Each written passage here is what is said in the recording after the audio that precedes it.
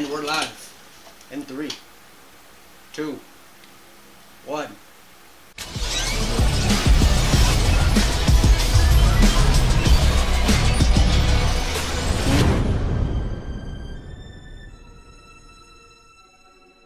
Hello everyone, this is MykeCheck 95, and we have came to the end of the review part of the Spider-Man series. If you enjoy this review and any of the other reviews and all the other videos that I've done in the past, like, share, subscribe, join the madness, follow us on Discord, Facebook, Instagram, Twitter, the works. This is Spider-Man No Way Home. This is the conclusion to the Spider-Man series that I started like three months ago, I would say? Two months ago? No, it was like four months ago. Trying looks like like I'm trying to reach for thoughts, but yeah, like four months ago I started this. We started with the Maguires, moved on to the Garfields, and then alternated from the Hollands and the Hardys, and we are now here with the final Holland film. Technically, we can throw Morbius in this whole series, but we'll get into that in the next video. Critics rate this film a 9.3 out of 10, while audiences also rate this film a 9.8 out of 10. This film's budget was $200 million, and they boxed office back, as of right now, because I'm pretty sure that it's back in theaters, in certain theaters, with an extended cut version of this, $1.901 billion. So this movie made a shit ton of money. Now, pros, cons, comments. Um, I'm just gonna say cons because I only have one. My only complaint in this entire Holland series has stuck through. I don't like the actor choice for Flash. There's the cons. Moving on to the comments because I'm gonna go on for hours about the pros. They are picking up right where they left off from Far From Home, so that's a good continuation of this story and everything. Um, noticing that uh, Strange had contain, contained the spell, but it didn't really hold the uh, multiverse. There's people illegally shooting fireworks right now, so uh, don't mind the background noise. Uh, it didn't hold the multiverse because they broke their way in because magic and cracks in the spell and yada yada, all that fun jazz. Um, Strange is essentially an angry, overbearing, but protective grandpa in this movie, which I don't mind. He, he plays a good part in this film, and it's quite hilarious. I noticed in some scenes, which they kind of, it may just been the way the shadows looked in the, the scenes that he was in, but it kind of looked like they did a slight redesign to the lizard, not like 110%, because in some shots he looked like how he did in The Amazing Spider-Man, but in some shots he looked like he had maybe like his eyebrows like made him look angrier. I don't know. Maybe just been the shadows or whatever. There was the Easter egg of Electro's soundtrack when he first appears into the film.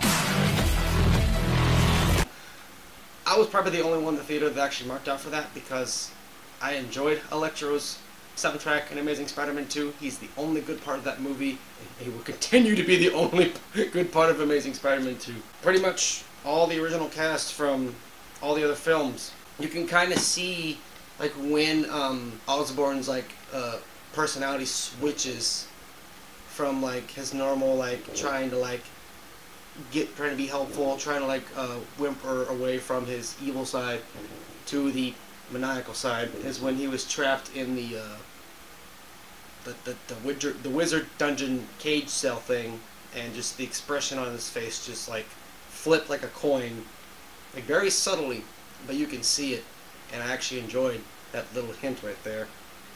Which also kind of ties into the ability of Holland Spider-Man to sense when uh, Osborn's like personality is flipping back and forth, or like whenever you can tell like who is actually in control of like the Osborn's mind, and that's actually really interesting that and cool that they threw that in there as well. Um, the scene where uh, Holland's on top of like Osborn's chest and he's like punching him like over and over and over again. By the way, Osborn didn't do his own stunt in this film. That is actually a pro I had um, written down, but he did do his own stunts. But he was getting punched by Holland Spider-Man, and he like turns and looks at him and starts laughing maniacally.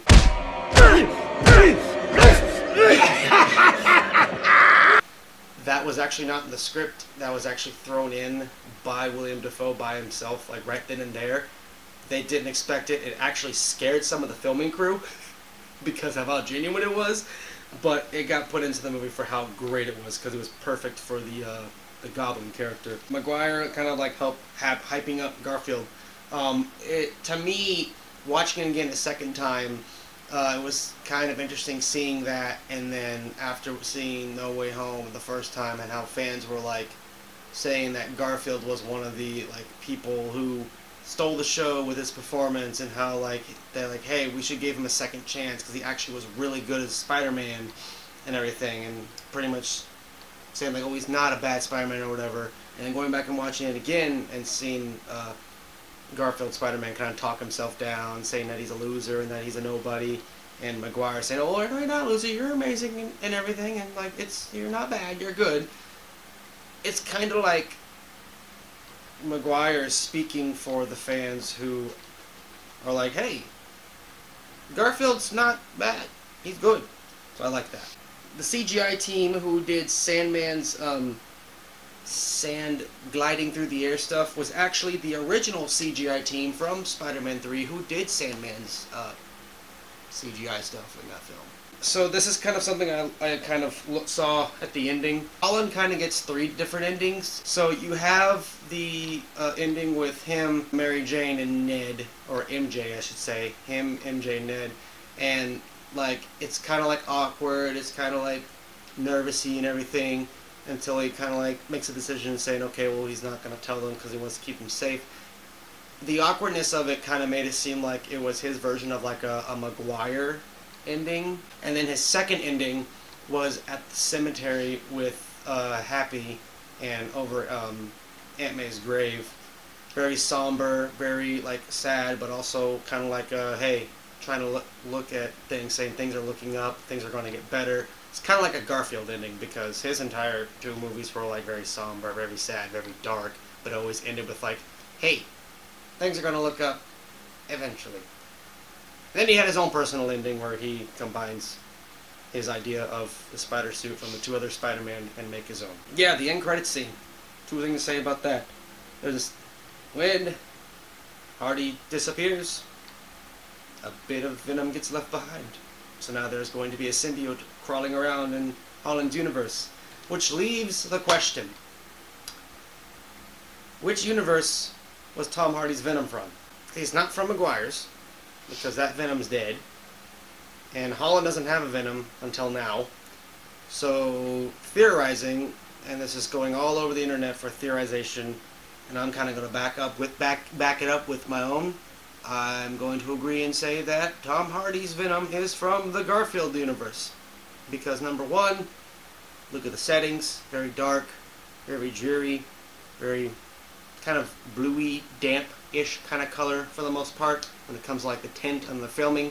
Both made by Sony alone. They kind of have similar themes-ish, except Venom's more comical, and they have never interacted with each other. He's on this side of the map in California. Garfield's on... Where are my hands? Garfield's on this side of the map in New York City. The Pros. Um, first and foremost, I want to say when they released these trailers, they did a really good job at hiding a lot of like a material and a lot of like surprises throughout this movie. I mean, yeah, you had the villains and everything, and what and whatnot, but I mean, everyone kind of figured that it was going to be obvious that they had Garfield and Maguire in. But the fact that they kept them out of the trailer until theaters hit, that was a great move. Um, some uh, characters that I thought I enjoyed having in the movie. You have Jameson, Matt Murdock, the Daredevil from the the Netflix TV series, Doc Ock, the Goblin, Lizard, Sandman, Electro, of course, the two Spider-Men. Just with the original cast coming back was amazing and everything. When they first started the film with the universe knowing who Spider-Man was, they did a really good job of showing the overwhelming feeling that uh, Park, uh, um, yeah, Holland's Parker is going through of the overwhelming feeling of everyone knowing who he is and everything, and that was portrayed very well, especially for someone who's portraying a kid like that.